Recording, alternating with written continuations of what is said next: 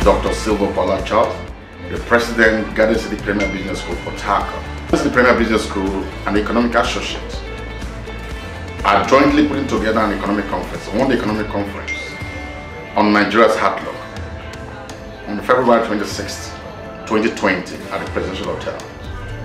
The conference is designed for economic and business policy makers, business leaders, and senior government officials to highlight impending business and economic opportunities and risk in 2020 and beyond.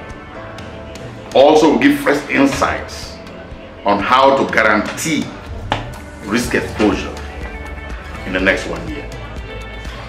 The conference is going to have about four teams that day, and those teams will center around unfolding global realities. They were also talking about domestic impact points, policy challenges, and managing the risk exposures. When you finish on that conference, you are set to go for the year. You are sure that you're not going to make mistakes this year in your business decisions. So you are welcome. We are waiting.